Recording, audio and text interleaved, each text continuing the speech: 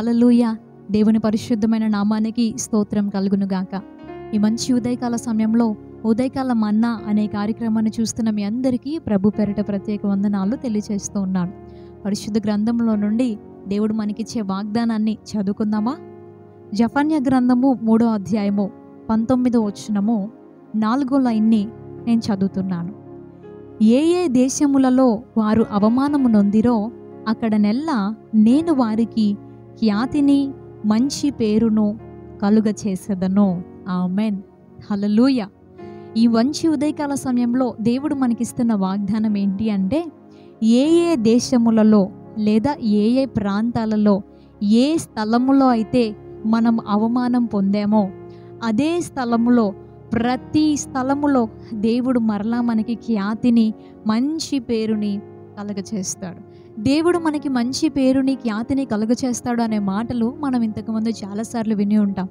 కానీ ఈ ఉదయకాల సమయంలో దేవుడు మనకిస్తున్న వాగ్దానం ఏంటంటే ఎక్కడెక్కడైతే మనం అవమానం పొందామో ఏ ప్రజల మధ్యలో అయితే మనం అవమానించబడ్డామో అదే ప్రజల మధ్య అదే స్థలంలో దేవుడు మరలా మనకి ఖ్యాతినివ్వబోతున్నాడు ఎవరి మధ్య అయితే మన పేరుకి డ్యామేజ్ అయ్యిందో ఎవరి మధ్యలో అయితే మన పేరు చెడిపోయింది అని మనం అనుకున్నామో అక్కడే దేవుడు మనకి మంచి పేరునివ్వబోతూ ఉన్నాడు.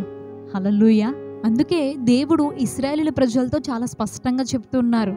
ఏమనంటే కొన్నిసార్లు మనం చేసుకునే అవిధేయతలను బట్టో లేదా దేవుని అనుమతిని బట్టో అను అవమానం అనేది ప్రతి మనిషికి కలుగుతుంది.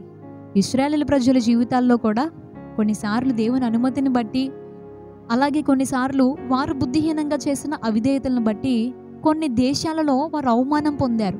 కానీ దేవుడు వారితో వాగ్దానం చేస్తున్నాడు ఏంటి అని అంటే మీరు కనుక మరలా తిరిగి నా వద్దకు వస్తే నేను మీకు ఖ్యాతినిస్తాను మంచి పేరునిస్తాను.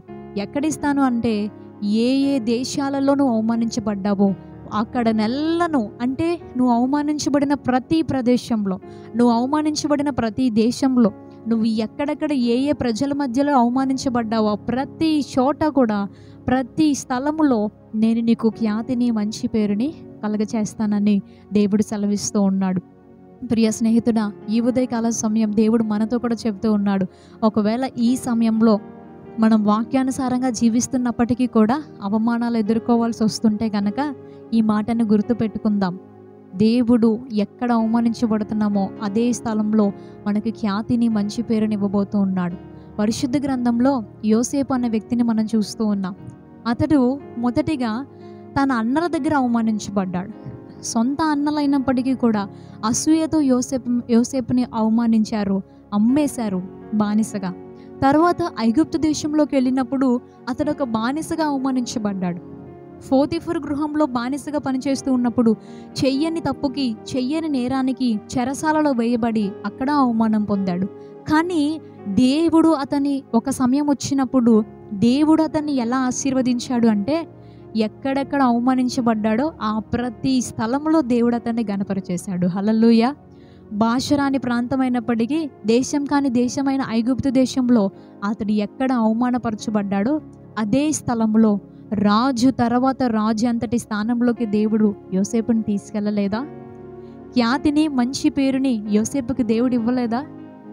ఫరో చెప్తాడు నీ సెలవు లేకుండా నా ఇంట్లో వారు కనీసం ఈ దేశమంతా అలాగే నా ఇంటి వారు కూడా కాలైనా చెయ్యైనా కదిలించడానికి కూడా అవకాశం లేదు. నువ్వు ఏం చెప్తావో అదే మేమందరము మా కుటుంబము మా దేశం అంతా కూడా పాటిస్తాము అని అతన్ని గణపరచలేదా?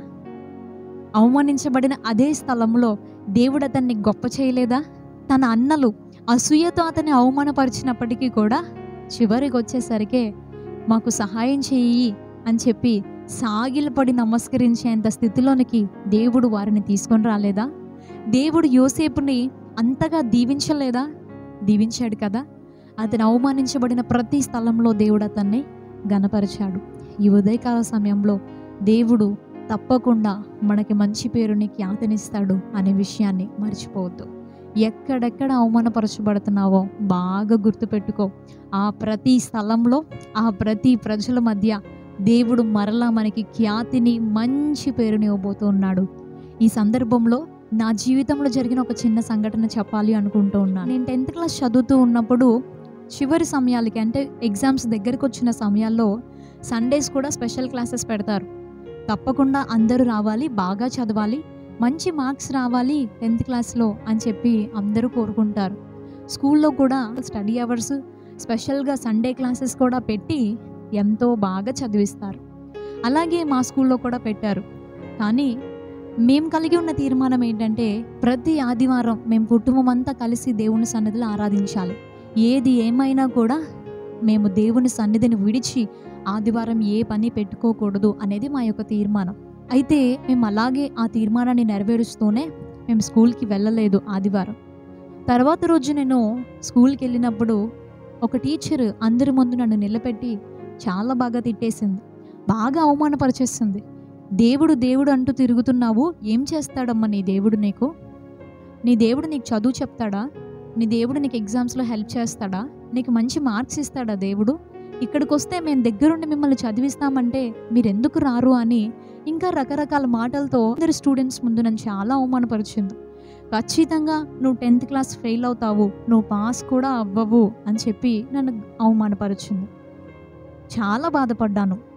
ఇంటికి వచ్చి ఏడ్చి నా తల్లిదండ్రులకు చెప్పాను. వారు చెప్పిన ఒకటే మాట ఎక్కడ నువ్వు అవమానపరచబడ్డావో అదే స్థలంలో దేవుడు నిన్ను గొప్ప చేస్తాడు. దేవునిపై ఆధారపడు. దేవుడు నీకు సహాయం చేస్తాడు. అనే మాట చెప్పారు. నేను ధైర్యం తెచ్చుకున్నాను ఎగ్జామ్స్ రాశాను. ఆ సంవత్సరం నా టెన్త్ క్లాస్లో మంచి రిజల్ట్స్ దేవుడు నాకు ఇచ్చాడు. స్కూల్ ఫస్ట్ రావడానికి దేవుడు నాకు సహాయం చేశాడు. ఎక్కడ అవమానపరచబడ్డానో అదే స్థలంలో దేవుడు నన్ను ఫస్ట్గా నిలబెట్టి గనపరిచాడు తన బిడ్డల్ని దేవుడు ఎప్పుడు విడిచిపెట్టడండి. ఆయన కోసం మనం నిలబడగలిగితే ఆయన వాక్యానుసారంగా మనం జీవించగలిగితే అవమానించబడిన ప్రతి స్థలంలో దేవుడు మనల్ని గనపరుస్తాడు మంచి పేరును ఖ్యాతిని దేవుడు మనకి ఇస్తాడు. ధైర్యంగా ఉందాం. దైవాశీర్వాదాలు మనకుండును గాక ఆమెన్. ప్రార్థన చేసుకుందాం. పరిశుద్ధుడ ప్రేమగల తండ్రి నీకు వందనాలయ్యా. మంచి ఉదయకాల సమయంలో నీ లేఖనాల్లో నుండి నువ్వు మాట్లాడిన ప్రతి మాటను బట్టి నీకు స్తోత్రం డాడీ. ఎక్కడెక్కడైతే మేము అవమానించబడుతూ ఉన్నామో ఆ అన్ని స్థలాల్లో కూడా నువ్వు మాకు మంచి పేరును ఖ్యాతినిచ్చే దేవుడు అయి ఉన్నావు. నీపైన ఆధారపడుతూ ఉన్నామయ్యా. సమస్తాన్ని మీ చేతులకు అప్పగిస్తూ ఉన్నాం. ఈరోజు మమ్మల్ని అవమానించే వారి మాటలు నిందలు సమస్తము నీకు వినిపిస్తూ ఉన్నాయి ప్రభు. అన్ని విషయాల్లో కూడా నువ్వు ఇన్వాల్వ్ అవ్వండి. అన్ని విషయాల్లో నీవు సహాయం చేయండి ప్రభు. నీ పేరు నీవిచ్చే ఖ్యాతి నీవిచ్చే మంచి పేరు మా అందరికీ కలుగును గాక అని ప్రార్థిస్తూ ఏసునామోలు ఈ ప్రార్థన అడిగి వేడుకుంటున్నాను పరమ తండ్రి. ఆమెన్. మరలా రేపు ఇదే సమయానికి ఉదయకాల మన్నా అనే కార్యక్రమంలో మనం కలుసుకుందాం. అంతవరకు దేవుని యొక్క మహాకృప మనందరికీ తోడై ఉండునుగాక. అందరికీ praise Lord thank you so much. May God bless you.